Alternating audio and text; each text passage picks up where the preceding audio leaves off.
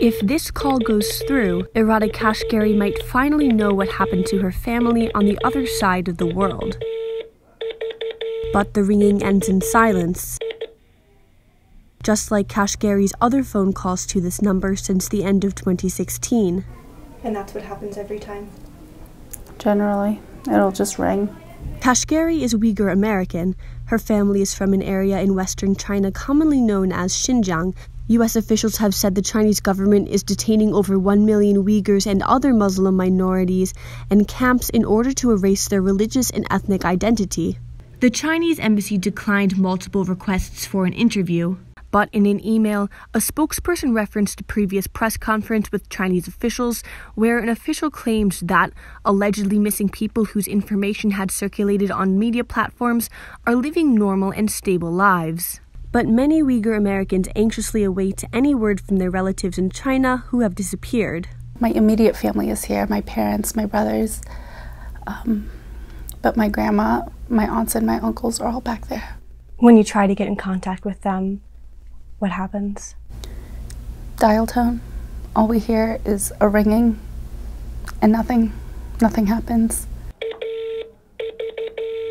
Other phone numbers are disconnected.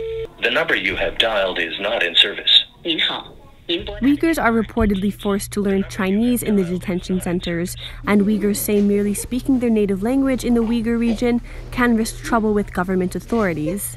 The first time that I tried to call, back home, my parents kept saying, just make sure you don't say salam alaikum. For Uyghurs in China, speaking their native language is incredibly risky. But on the other side of the world, just past these doors behind me, Uyghur Americans are working to make sure that their language is preserved for the next generation. I really wanted to give a sense of identity to the Uyghur kids that are also growing up in the diaspora that aren't able to uh, connect with their family members back home. That's why Kashgary co founded Ana Care and Education, a Uyghur language learning school. Anam mini aydeydu, aydeydu. Every Sunday, children and teenagers gather to practice speaking, writing, dancing, and more. My favorite part about coming here is that I could like communicate with my other friends. They're really nice. They treat me like whenever I'm sad, they come up. But for all of the fun students have at Ana Care and Education, the human rights violations in the Uyghur region can still loom over classes.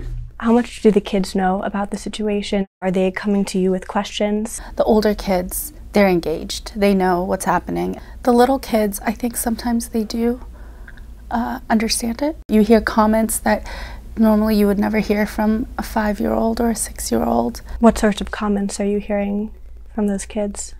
Things like, you know, I don't know where my grandma is. Do you know where your grandma It's things that, you know, they say it in such a kiddish, childish manner, or like, you know, I can't go back.